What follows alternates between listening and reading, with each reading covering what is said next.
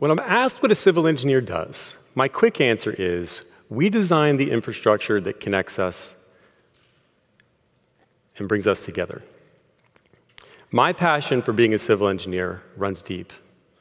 My father, who's one of the, one of the smartest men I've ever known, is a civil engineer. Both he and my grandfather designed and built established places that created for better communities.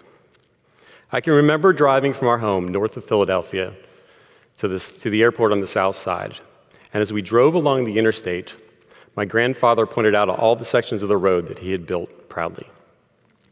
That moment stuck with me. Someday I wanted to share his sense of pride for having created places that bring people together. But the interstate, like one's life purpose, is not so straightforward. We must learn from history, be mindful not to spoil what we have as we advance forward. So the interstate began when President Dwight Eisenhower enacted the Federal Aid Highway Act in the 1950s. The big idea was to connect every city of 50,000 or more residents with a high speed, limited access road network. 40 years later, over 40,000 miles of road had been built. Now, Eisenhower's interest in the interstate system actually began when he was an officer in the Army. He volunteered in 1919 to take part in the first motorized convoy across America. It was a difficult and at times treacherous trip from Washington, D.C., 3,200 miles to San Francisco that took 62 days. If you were to check your phone, you'd see that same trip can be done in 40 hours. You can drive across our country in a weekend.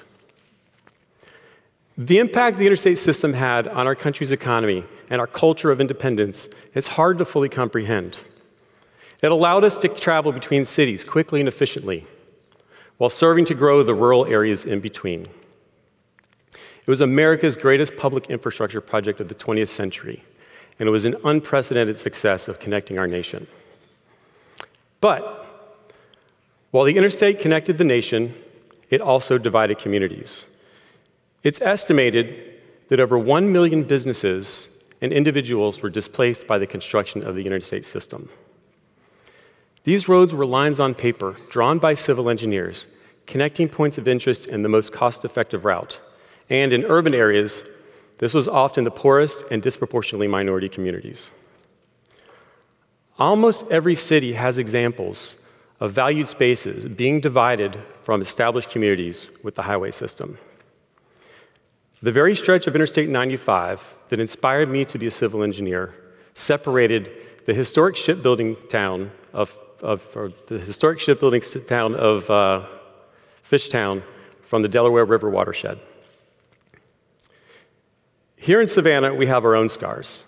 Three of our historic squares were lost in the 1930s through the construction of US Highway 17. We've recovered Franklin Square, but we still have Elbert and Liberty Square that are lost.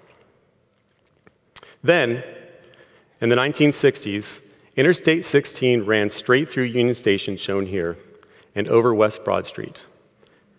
It severed streets and divided Savannah's black historic business district. This is a Sanborn fire insurance map from the 1950s. All the boxes represent homes and businesses.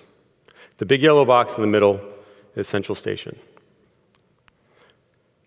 This is that same map in the 1970s after I 16 passed through.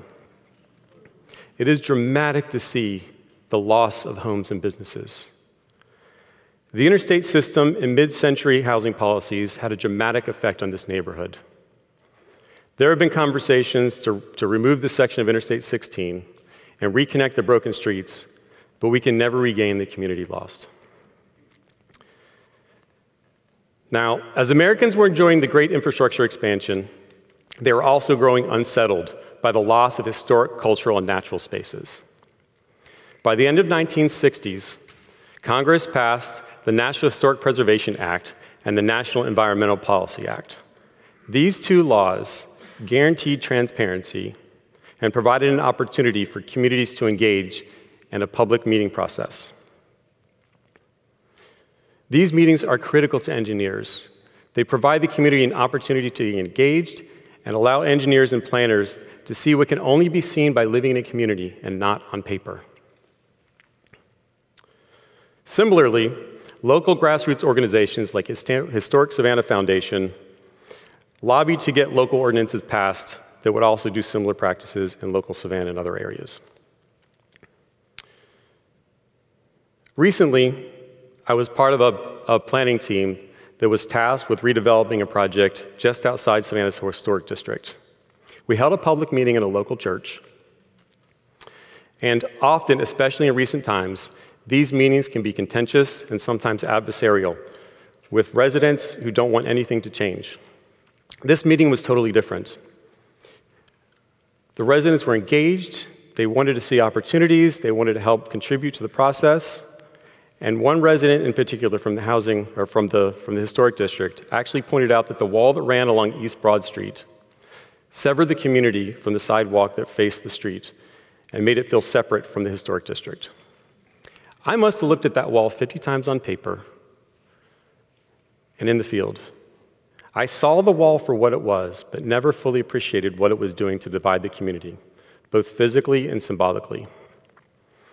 I left that meeting feeling like the system was working. And I was uplifted by that individual that gained nothing as an individual, but help me for, make for a better community.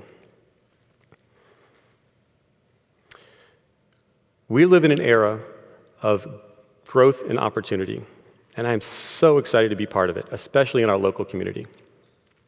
The Savannah Statesboro population is projected to grow by 34% by 2050. That is double the national average.